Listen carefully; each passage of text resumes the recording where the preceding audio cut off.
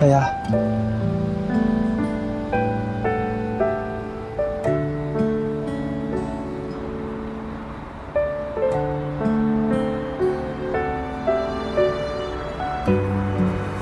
哎呀，别走行不行？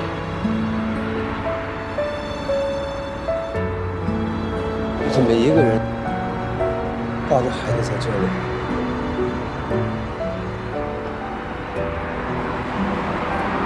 是不是跟刘火吵架了？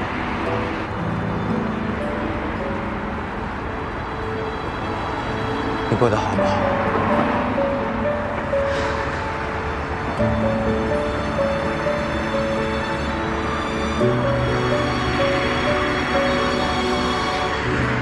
我过得特别好，我有一个爱我的老公，我有一个疼我的婆婆，我是这个世界上最幸福的女人。我这么说，你是不是心安理得一点？不是这个样子的，丫丫，我没有一天不再想你，不再牵挂你。我希望你过得好。你希望我过得好？一年呀，整整一年呀！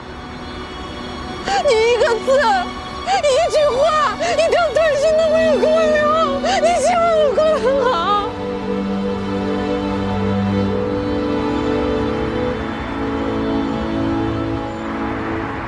丫丫，你听我解释行不行？解释，小辉，曾经你有无数次解释的机会，可是你都选择了放弃，你躲着我，你在我最痛苦的时候，在我最无助的时候，你都躲着我。我到底做了什么让你这么怕我呀？你又做了什么不敢见我呀？你整整人间蒸发一年呀！你怎么解释啊？对不起，丫丫，对不起，你能不能冷静点？我怎么冷静？六年，六年啊！江辉，我们在一起六年，我们经历过那么多美好的时光。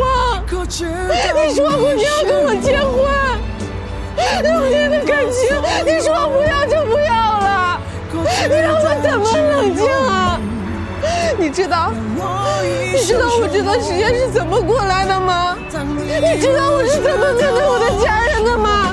你不知道。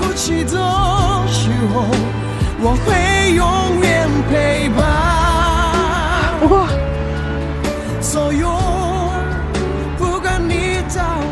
不过这些都与你无关了。我现在过得特别的好，我现在是别人的妻子了，我嫁人了，我现在所有的一切都跟你没有任何关系了，以后请叫我刘太太。如果你会想起我，唱给你的承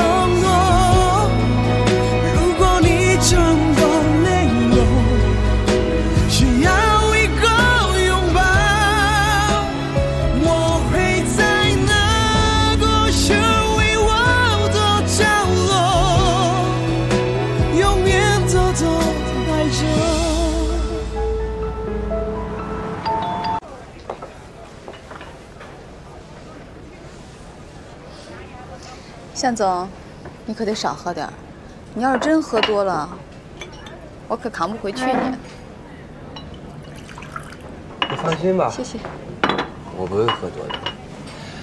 我就是想知道，如果童话知道我跟你在一起的话，他会是什么样的表情？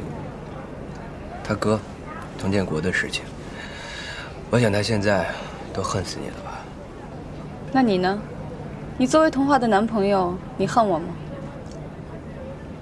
我知道你们心里怎么想我，觉得我很无情。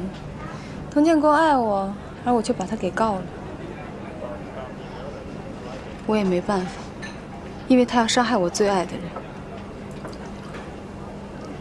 一个不懂取舍的人，终究会失败的，什么都得不到。我从小就懂得这个道理，所以我做事从不犹豫，因为我知道我自己想要什么。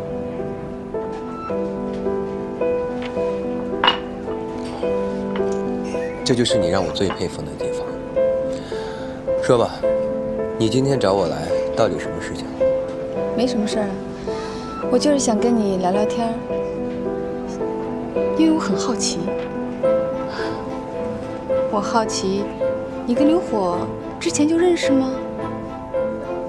还是你们之间有什么矛盾？看你们的状态，不像是一个正常合作者的状态啊。你对别人的事情就这么感兴趣？那得看是谁。因为刘火是我这辈子最爱的人，我们相爱了七年。是，虽然他现在跟毛丫丫结婚了，生孩子了，可谁又能保证他们一辈子？一辈子会发生很多的事情，对于对小夫妻来讲，是不是太漫长了？我的事情已经告诉你了，现在也该你了，这样我们才公平吧？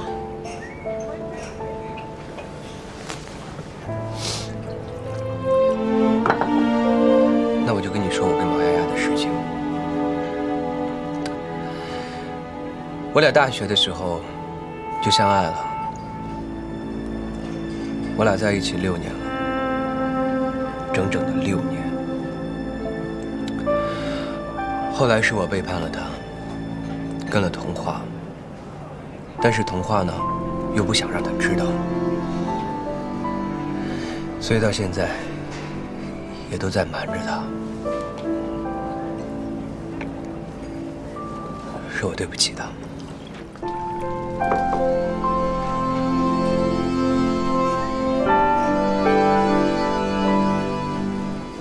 同是天涯沦落人啊！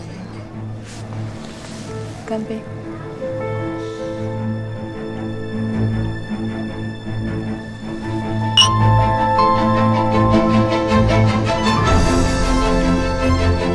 安先生，指挥部我已经安排好了，你什么时候过来看一下？小辉，小辉，安先生，我现在有点事情，等你来的时候，你给我打个电话，好不好？哎，小辉，我问你，你昨天晚上是不是跟毛丫见面了？没有。没有？你还骗我！昨天丫丫晚上住我那儿了，她什么都告诉我了，你为什么还不承认？小辉，你是把我当白痴耍吗？你为什么要骗我？我不是想骗你。那你说我怎么办？现在我跟刘火在合作，经常的会碰面。那见到丫丫那是难免的事情。我不想告诉你，那是因为我怕你知道了会不高兴。